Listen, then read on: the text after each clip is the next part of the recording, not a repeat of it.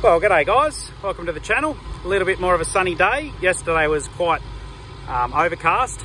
We're actually at my home block and we've been trying to get it sown for a while and it's just been wet and gluggy and um, there was a vlog earlier in the floods. Um, I'll put the link in the description to that one. I can't remember which vlog number it was, but um, yeah, it was pretty nasty. So since then, it's been pretty hard to farm in the wet, but we've come up with a new strategy to try and get through it.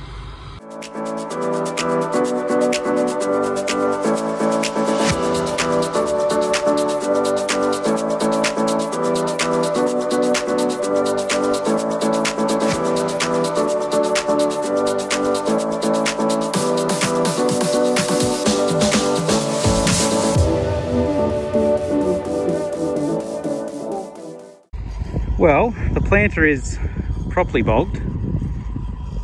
Uh, we tried last night quite a bit to get it out, couldn't. It was about 12.30 in the morning. So we only had the Massey then. We got now got a couple of tractors hooked up. See if we can pull it out.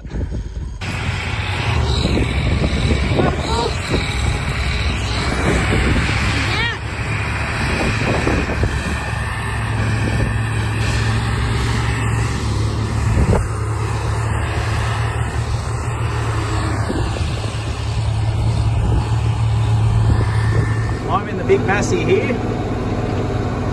We got the fill back on the we we need to, there's a few slippery bits, so we'll just keep it hooked up and finish her off. Probably another 15 hectares or so. Uh, it's actually working really well, doing about 10 k's. So you can see here it's a bit soft.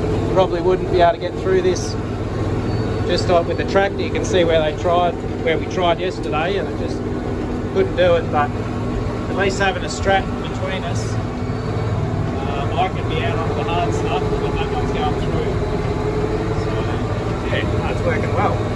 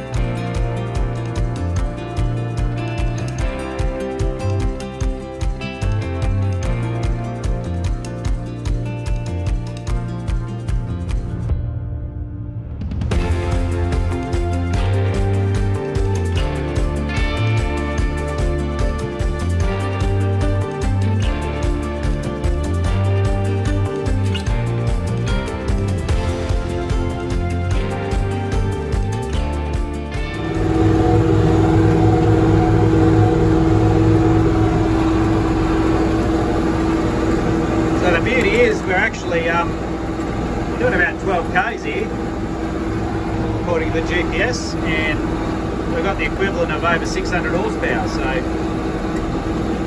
uh, this is the way to do it. You just have to fiddle around a bit to get your technique on the corners, but um, yeah, it's it's really not much of a hassle. Um, I mean, you're running two tractors and two people driving them, but considering we can get 95% of the paddock planted instead of probably 70%, um, it's certainly worth it. So it looks like with the for rain forecast, there's not much of a chance we'll be able to get this planted in the next month or so. Um, just with the way the terrain is, it, it gets pretty wet and stays wet, so we'll, uh, yeah, just thankful to be able to get something in at least. I didn't say either, but this is a Massey Ferguson 4840. This is the non-turbo 903 Cummins. Um, and this has done nearly 17,000 hours. I think I think around maybe four or 6,000 hours of had some engine work done, but um, yeah, she's been a solid rig, that's for sure. Well guys, we've got about eight hectares maybe left here to do. Uh, but yeah, absolutely no way we'd be doing some of this without a bit of a hand. This uh, good old Massey. So this actually just is a bit like an anchor. It, it holds the front of the cat straight because with those two track tractors, once you get into a bit of a wet patch or whatever, it, it, it'll want to spin one way or the other because you'll lose traction on one track and it'll try to turn you. But with this way, because I'm pulling it forward, it's not wanting to go sideways, so both tracks are, are keeping um, traction. Guys, if you enjoy the videos, just hit the like button. Uh, make sure to subscribe if you haven't already. So last night we finished up at just that little block that was uh, near my house. We actually brought the Massey over to here. We're at the other main farm. You might remember two weeks ago, I think it might have been. We were planting wheat and barley here. Um, and then, but before that, we'd planted linseed over the other side. Um, so there's linseed over, you can't really see it, but it's over that way.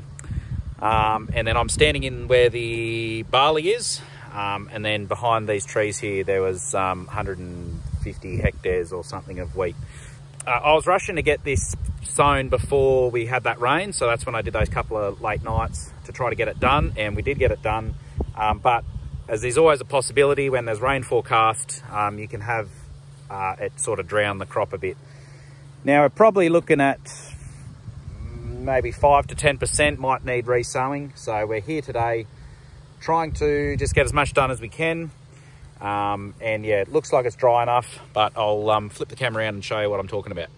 You can see here, this has obviously been uh, a little waterlogged. We probably, I think we ended up with 30 mil of rain um, after we sowed and that was probably about 10 mils too much. I reckon it probably would have handled 20 mil of rain, but yeah, you just can't predict these things.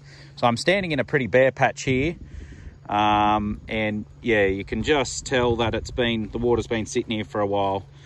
Um, still a little damp there. But if we go, well, I guess I can walk back over here. And you can just see where it dips up and it's, it's a bit of a rise there and the water's obviously shed off it okay. Um, we've got some good good, uh, yeah, good barley coming up. So what we're doing now is, see how good the zoom is? There we might be able to just see Phil is actually just resowing a bit of linseed. Um, and yeah, that is, appears to be going pretty well. Um, I'm just out scouting what might need to be resown or not. We've got a little bit we can do here on the barley and I'm just about to go and check out the wheat. Now this actually shows you a bit like what the weather was like. Anywhere where grain fell on top of the ground, and you can see there, that is the seed there. It's got a bit of that coating on it we put on it, that pink stuff. So that was just sitting on top of the dirt, and that's grown into a, it's not very well supported, but it's uh, it's doing fine. So here's, that's what all these ones are too. That's sitting out on top. That one was sitting out on top. So, yeah, we could have just run over it with the spreader and probably that one was just on top there. Can see the seed. Um, so, probably could have just spread it out in front of it and it would have would have come up. But yes, we brought the Massey down just in case we need to hook up and drag through in a couple of areas. So I'll make use of my drone and I'll go scouting.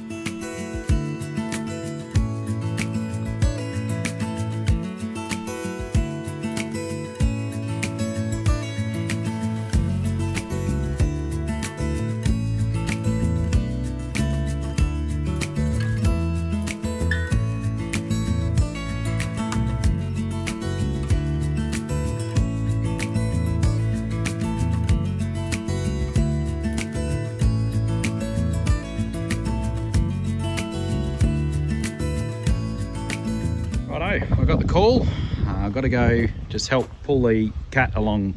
So what happens in this soil is it's quite sticky and it actually um, just binds up all the um, press wheels and the coulter wheels and everything and it just becomes quite hard to pull. So that's where this old girl will hopefully help.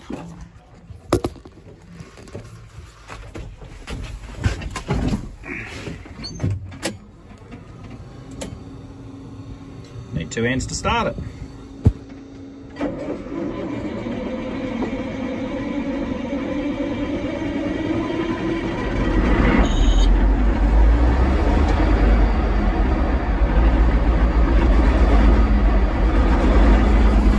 There we go. It's a bit of a chilly morning this morning. Get the door won't close.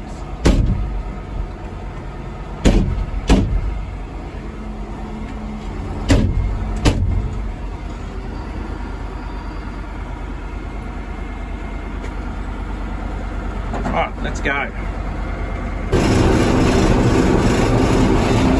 There he is over there.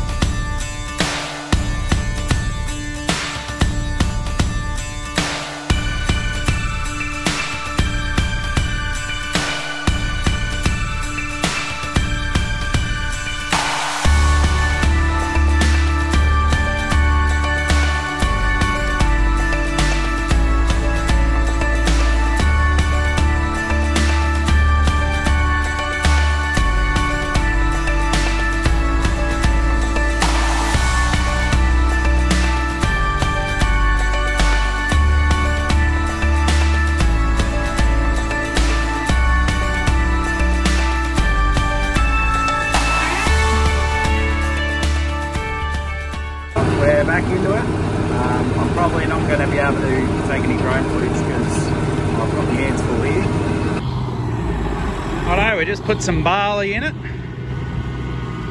and we'll see how it goes. We'll try without the Massey and if we get to a point where we think we need it, we'll hook her on.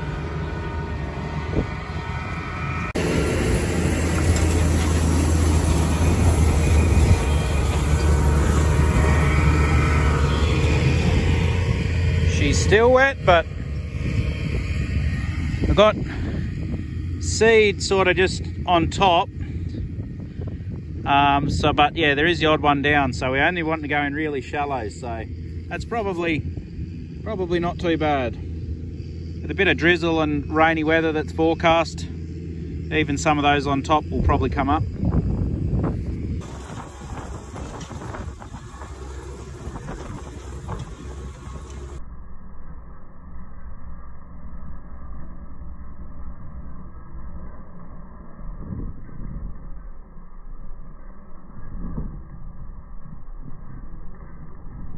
Well, I left Phil down there to play away in the mud. Um, it was pulling it all right without the Massey. Uh, but yeah, we've just had a bit of a rain event come through and it looks like there's another one coming. So not sure how much further we're going to be able to go with that. Um, Brad had to pull up on the, on the sprayer. Um, we're just tidying off a few jobs in the shed and see if we get any more rain and then we'll see what tomorrow brings. But uh, that might be the end of this video anyway. We'll catch you in the next one.